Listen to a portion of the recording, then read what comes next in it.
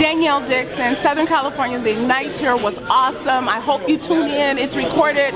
Love you. Ghetto for life, baby. This is the bomb. Get ready for Red tonight. Talk to you soon.